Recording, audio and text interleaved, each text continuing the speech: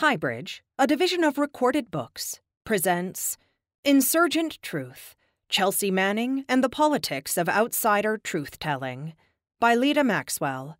Read by Emily Beresford. Preface Cassandra and Socrates. What does a truth teller look like?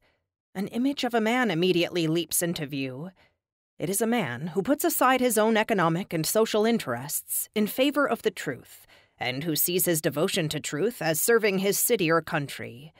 It is a man who believes he can tell the truth only by living truthfully, who is willing to sacrifice his life and well being on behalf of truth.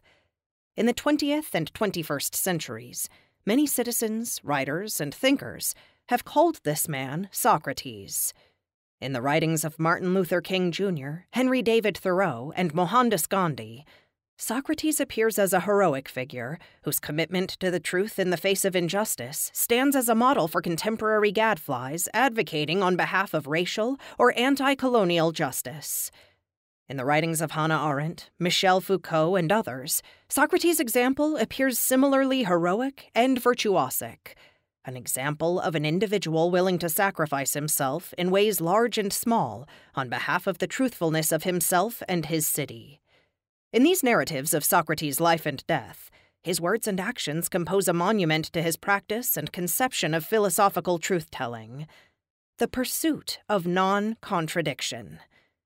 Yet, if Socrates inhabits the heroic foreground of our truth telling imaginary, there is another image that persists alongside it even if its contours are more difficult to ascertain, its features slightly out of focus. In post Homeric mythology, Cassandra appears as a visionary who knew and proclaimed the truth of the destruction to come for Troy and for herself during the Trojan War, but was not believed by her fellow Trojans. A daughter of King Priam sent to be a priestess in Apollo's temple, Cassandra refused Apollo's demand for sex and was cursed to know the truth but never be believed. He, Apollo, came like a wrestler, magnificent, took me down and breathed his fire through me, and. I yielded. Then at the climax, I recoiled. I deceived Apollo. Even then, I told my people all the grief to come. Once I betrayed him, I could never be believed. In speaking to the Trojan people, Cassandra proclaimed the earthly truth of the Trojan War. It was to bring destruction, slavery, and death to her people and city. Cassandra did not see the truth because she had chosen, as Socrates did, to live as a philosopher. Rather, she saw the destructive force of violence and war because she was vulnerable to those violences herself. Cassandra's truth telling was thus not, as it was for Socrates, a practice of risking her private interests on behalf of the public good.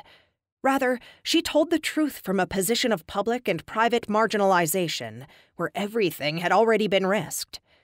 Yet, as a woman who refused to acquiesce to male and divine sexual desire, Cassandra was cursed to never look like a truth teller. Rather, she appeared untrustworthy, suspect, mad.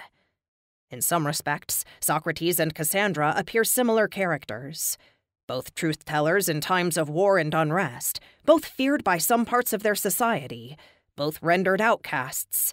They told the truth and were not believed. They both also ultimately lost their lives because of the social disturbance they and their truth telling caused. Yet, I have begun by drawing out differences between their examples because I am interested in asking how our understanding of truth telling in politics might shift if we took Cassandra rather than Socrates as our archetypical truth teller. Invoked as a model for what we now call civil disobedience, Socrates appears as an exemplar of seeking absolute truth and justice over and above unjust, biased state and local laws and edicts. Through reference to his example, political theorists have been able to raise important questions about truth tellers, philosophers, activists, experts, movement leaders, confronting an intransigent demos. That is, questions about why a people whose passions, or love of sophistry, or desire for wealth, makes them unable to recognize truth. Yet Socrates' example does not raise, or raises less obviously than Cassandra's, the question of how someone appears legible as a truth teller in the first place. Put differently, Socrates' example tends to suggest that conflicts over truth in politics are due either to popular passions or ignorance of truth, rather than asking how various forms of power function to keep different kinds of individuals women, people of color, queer, trans, and gender nonconforming people outside the circle of the hearable. Hierarchies of citizenship, class, and gender set the boundaries of Socrates' political conflict about truth with his fellow Athenians. Figures like Cassandra were always already illegible, and their reality appears always already insignificant to their society. If Socrates' predicament helps to illuminate the predicament of Thoreau and Gandhi, Cassandra's predicament gestures toward a different set of experiences of ordinary women who tell the truth about sexual assault and are not believed, of people of color who tell the truth about police violence, brutality, and killing and are not believed of queer, trans, and gender nonconforming people who tell the truth about violence, bullying, and the social invisibility of wrongs done to them, and are not believed. Of those trying to tell the truth about wars, violence, and oppression, and are not believed. And of others, excluded from the circle of the hearable, who are trying to create a meaningful place in the world by telling the truth about their exclusion from it. Cassandra's predicament is not the predicament of heroes and great men. Rather, her predicament helps attune us to the significance of experiences of women, trans people, queers, and people of color trying to tell the truth so that they might survive, demand a society in which their reality matters, and create the possibility of living differently. To be clear, Cassandra and contemporary marginalized individuals are not cast as suspect, unbelievable, and mad only because of their identity. Rather, they also tell truths that are unsettling to power and privilege. In different ways, they offer their societies what I call insurgent truth, a kind of truth that does not stabilize society by offering pre political facts, but instead unsettles society by showing that the social ground is already rough, exclusive, and often lopsided.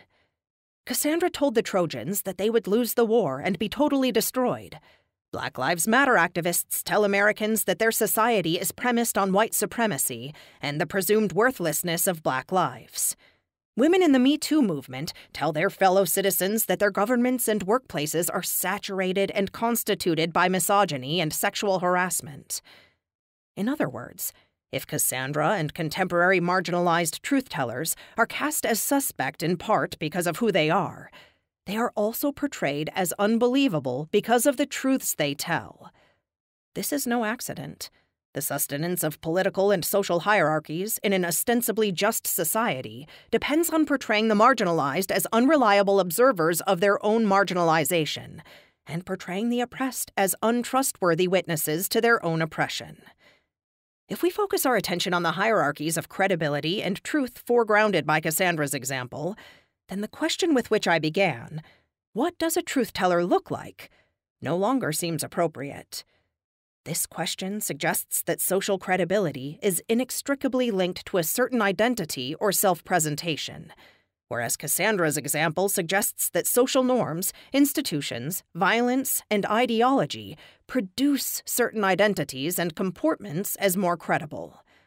If social credibility is a product of social and political organization, then it seems better to put the question this way How does the institutional, legal, effective, and discursive staging of political scenes make some people look like truth tellers and others not? While the rest of this book will not focus on Cassandra, I open with her example because it offers an alternative, critical horizon of possibility in which to examine the significance of the different kinds of truth telling that Cassandra and contemporary marginalized individuals enact. For the remainder of the book, I will call these forms of truth telling, where individuals illegible to their societies as truth tellers tell insurgent truths, outsider truth telling. Contrasting outsider truth telling with Socrates' example may seem to set him up along with the Western philosophical tradition that he inaugurated, as representatives of insiders, hierarchy, and the dominant class. Indeed, almost everyone who read drafts of this book worried that I did not render Socrates a complex enough figure, and that I did not underline sufficiently that he too was an outsider.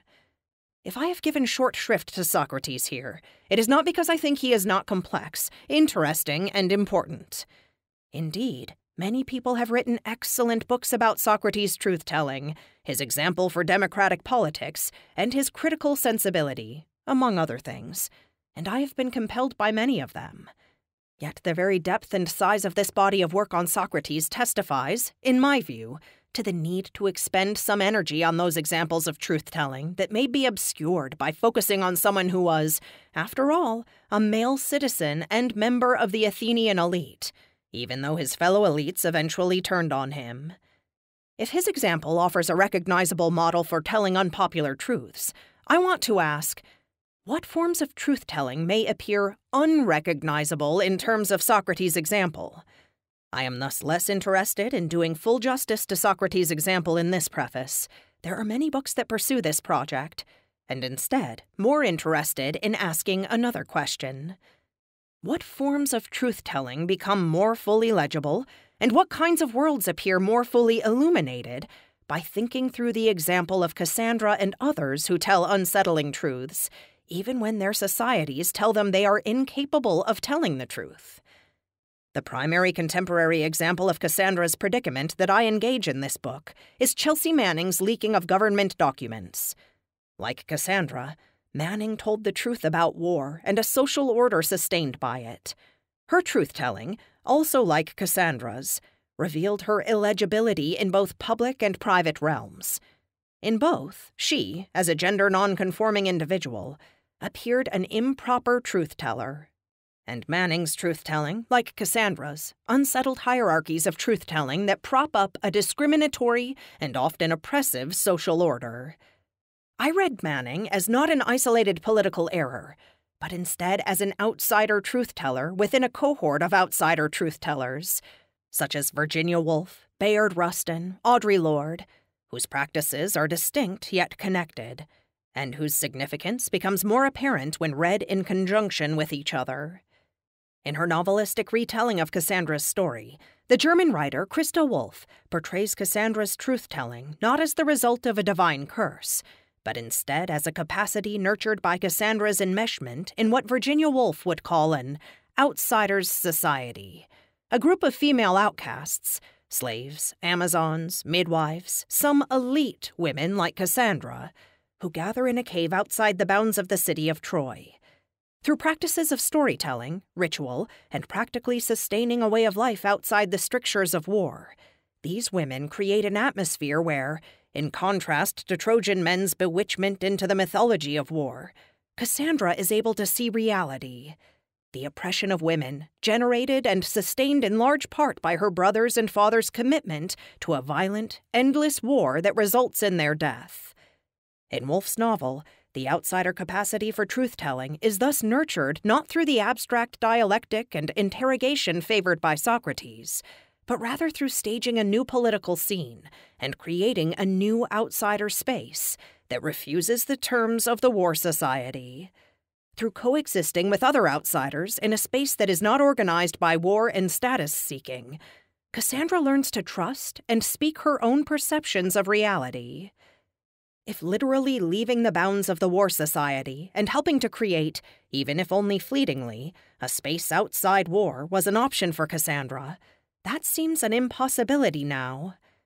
Yet might outsider spaces and solidarities that exceed and resist the terms of public and private still come into being, even in the midst of technology, military and prison systems, and economic imperatives that interpolate us all into war societies?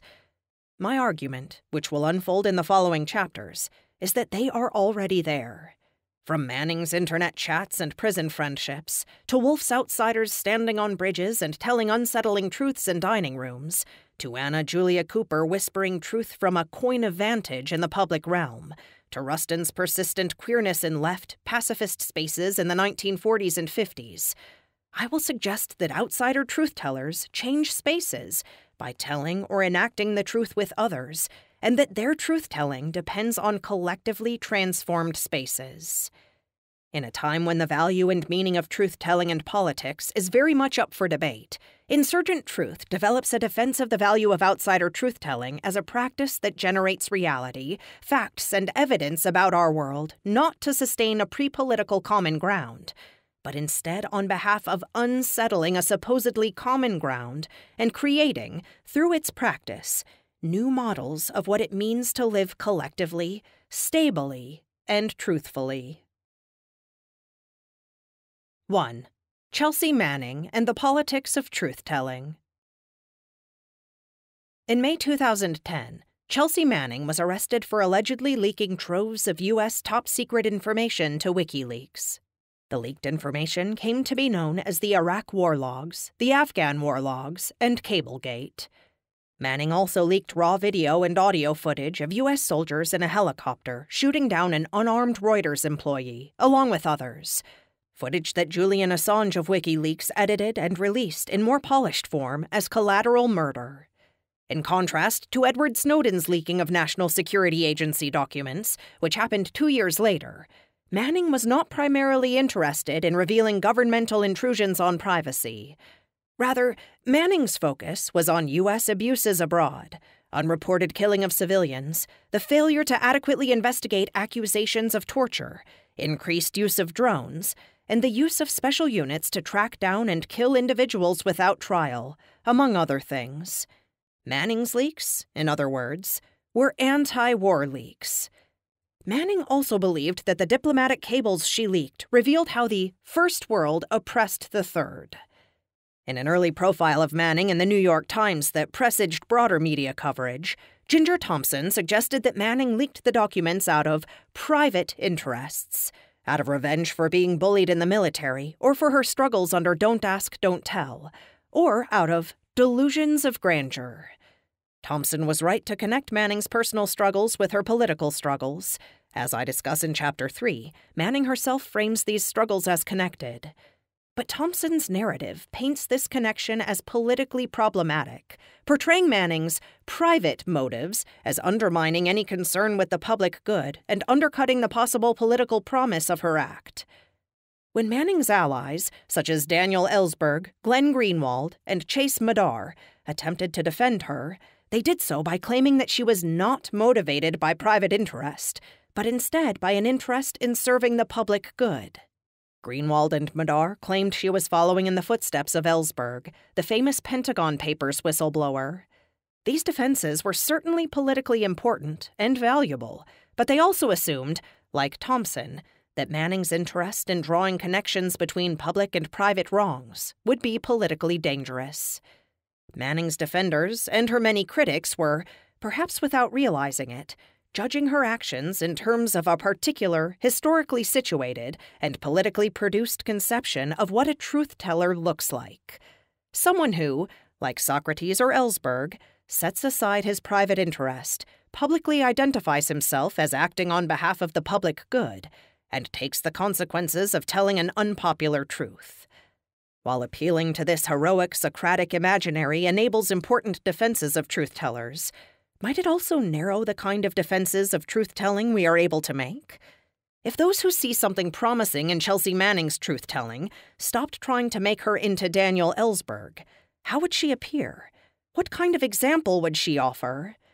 This book explores this question by positioning Manning's act differently, as following not in the footsteps of Socrates or Ellsberg, but in the footsteps of Cassandra and her outsider collective. Like Cassandra, Manning's refusal to capitulate to the separation of public and private that her society sees as necessary to truthfulness is itself part of her truth telling, even as it renders her untrustworthy in the eyes of her listeners. If Cassandra connected the violence of men over women to the violence of war and claimed that both would lead to Troy's ruin, I will suggest in Chapter 3 that Manning connected the secrecy demanded by Don't Ask, Don't Tell to the military secrecy of information about war. As the book unfolds, I will put Manning into conversation not only with Cassandra, but also with Virginia Woolf, Audre Lorde, Bayard Rustin, and others. I will argue, especially in Chapter 3, for understanding her as an outsider truth teller whose refusal to comply with norms of publicity and privacy render her illegible to her society as a truth teller, while also putting her in a position to tell us important and unsettling truths about the public and private realms. While we tend to look to truth and truth tellers to re-stabilize our political world and its public slash private distinctions by checking governmental corruption or revealing the need for accountability, I will argue, especially in Chapter 2, that outsider truth tellers offer an important, insurgent truth to their societies. In contrast to the objective facts or moral absolutes that we tend to associate with truth telling in politics, outsider truth tellers suggest that our dominant understanding of truth, as singular and absolute, is itself complicit in oppression, and they offer a messier and more complex picture of what the world is like. Outsider truth tellers do not seek to restabilize the world as it is, but instead to change it by creating spaces and connections where marginalized individuals can say what the world is like for them and begin to imagine how to make it otherwise. In the remainder of this chapter, however, I aim to show why understanding Manning as an outsider truth teller and developing a defense of outsider truth telling is important to our understanding of the relationship between democracy and truth more generally. I will suggest that outsider truth telling reveals problems with, and offers an important alternative to, the dominant understanding of truth and democracy in political theory and public life. Namely, the view that democracy is dependent on truth because it offers a pre political stability for a society of diverse viewpoints. While this understanding of truth seems so commonsensical as to be banal, I argue, through recourse to scholarship in the history of science, that it actually grew out of particular historical circumstances and is tied to a raced, classed, and gendered conception of what a truth teller looks like.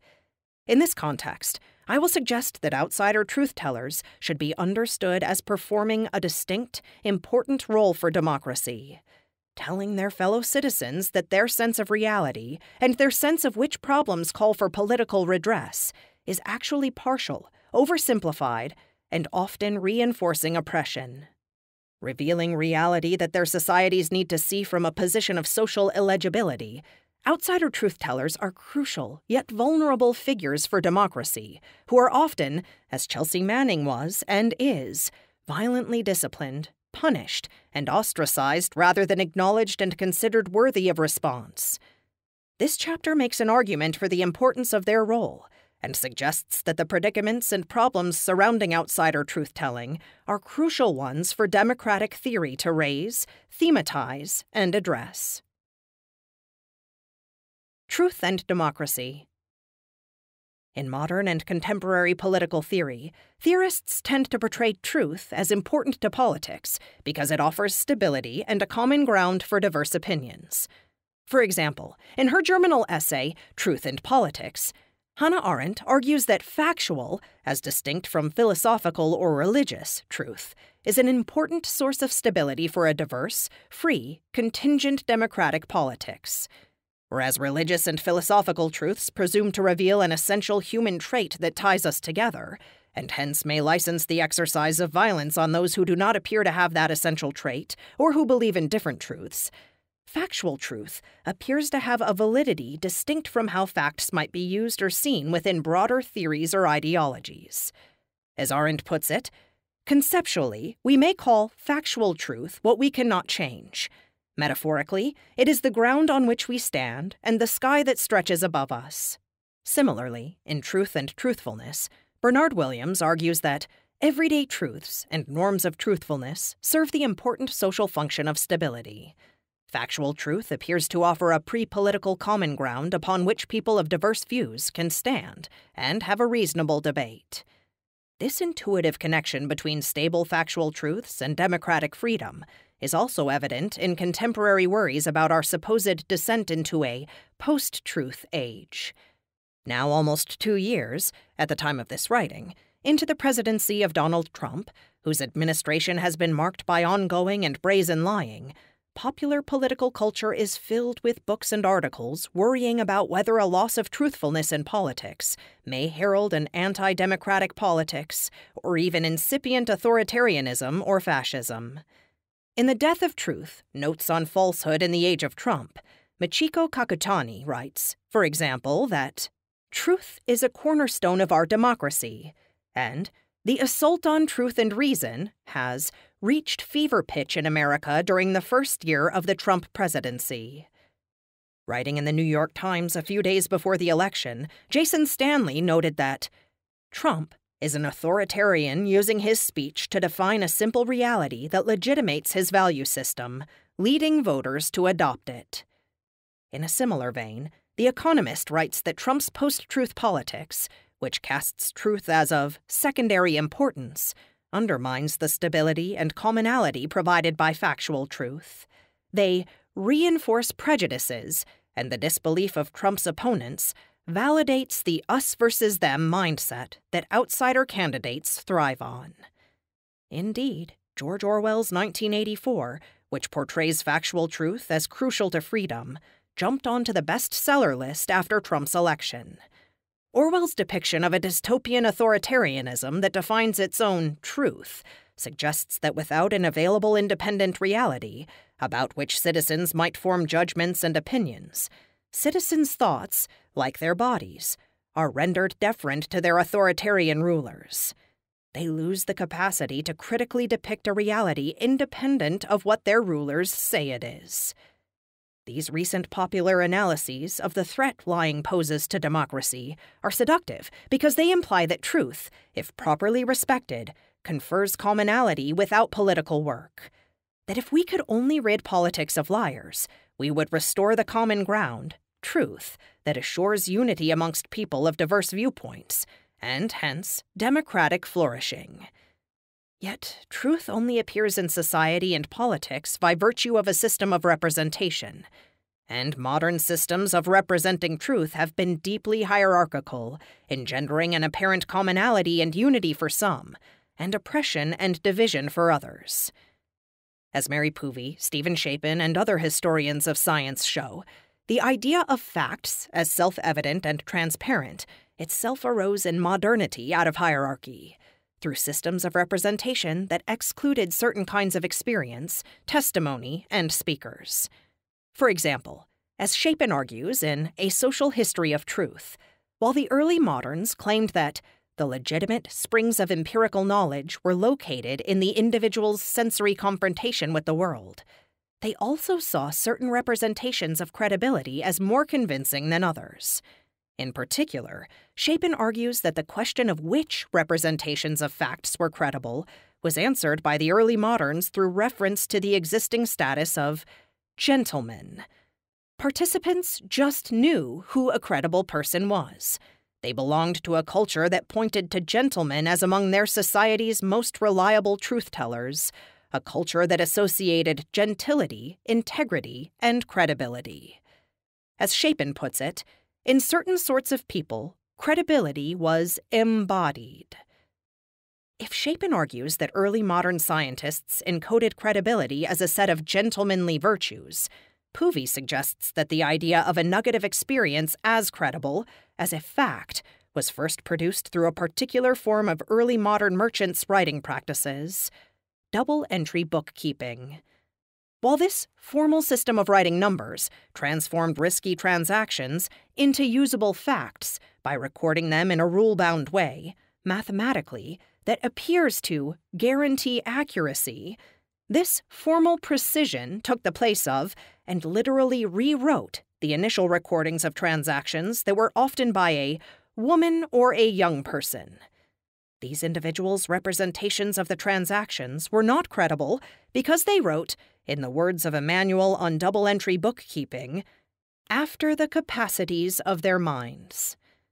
Hiding and transcribing this first recording, the conventions of double entry bookkeeping. We hope you enjoyed this preview. To continue listening to this audiobook on Google Play Books, use the link in the video description.